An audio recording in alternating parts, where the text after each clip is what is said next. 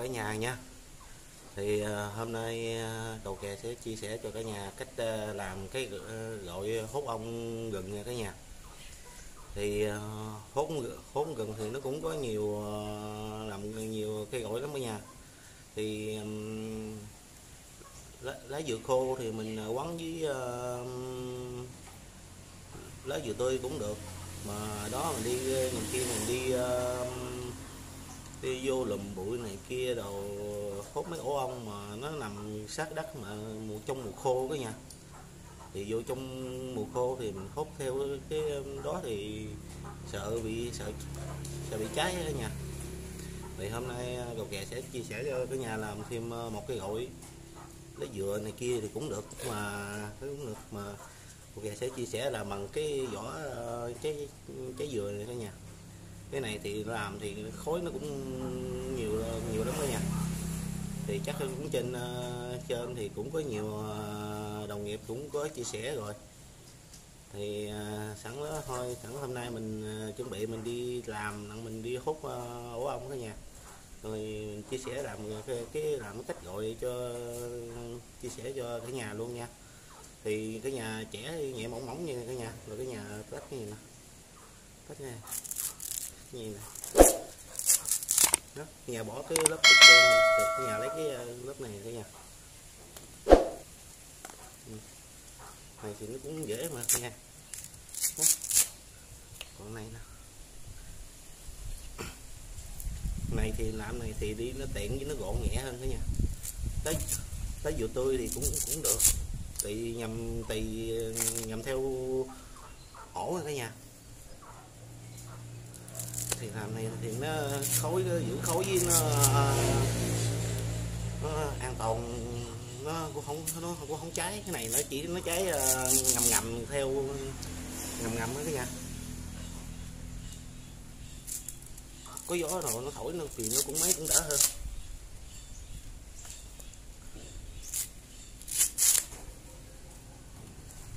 Thì một một trái dừa vậy thì mình làm được hai cây gỏi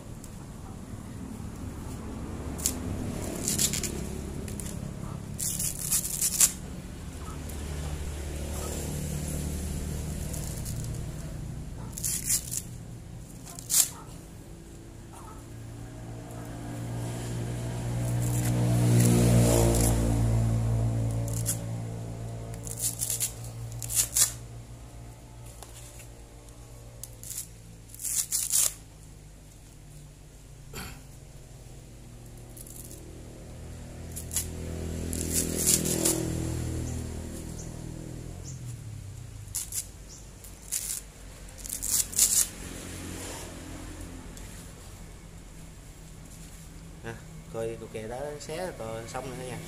Đó, bây giờ xé nhiều nè? Đó. rồi cục kè quay lại kem xa kết quấn ờ, gọi cho nhà xem nha. Sau khi mình ờ, ấy, mình bó như vậy nè nha, bó rồi như nè. Đó, nha, bó về nhà kiếm ờ, khúc dây chuyền buộc cái đầu này cả nhà Nè, buộc như vậy giờ vậy cả nhà chừa thêm một khúc như nè. Nặng nữa nặng mình máng trên cây rồi nghĩ dễ lắm nha. Nhà siết chặt chưa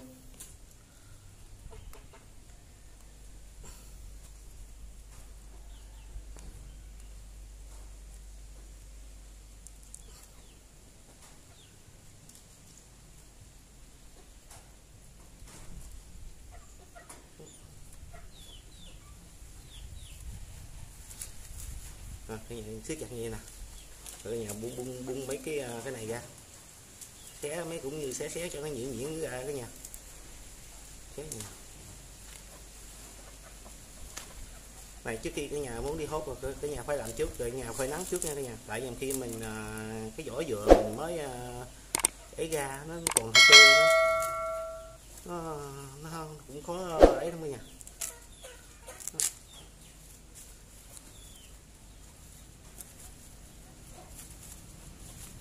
cái này thì à, mình đi ờ, ờ, rất là an toàn. Nó không có mấy cái mà lửa mà đốt cái, nó bay mấy cái bụi đó nha. Nó không- nó của mình không sợ không còn à, còn lấy dừa thì mình à, sợ sợ lắm. Nhiều khi mấy cái chỗ mà có mương rãnh này kia nó có nước thì mình còn đỡ mà mấy chỗ mà mấy ổ ong mà nó đóng mà nó không có ờ, nước nôi này kia thì mình sợ nhiều khi lửa nó nó bén lửa đó nha như vậy thì mình làm như vậy thì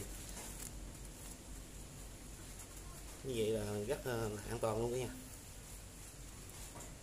rồi cái nhà kiếm thêm khúc dây chì cái nhà quấn nhiều đây nè. Lên lịch lên cái nữa. Rồi nhà kiếm khúc dây chì này cái nhà bịch ngang đây cả nhà. Nhìn nè. Này mình cái cuộc uh, hơi, lỏng lỏng thôi nha. nặng đâu nữa mình ví dụ nó cháy tới đâu mình chờ, mình nâng mình nung ra từ từ thôi nha. Vậy vậy. Có gì mình đốt tới đâu mình nung ra như này nung ra từ từ từ xích vô. Còn mấy cái ờ, chỗ này cái ờ, cái nhà cái, cái kéo hay gì đó cái nhà, nhà nhấp bỏ cái chỗ khúc này nha.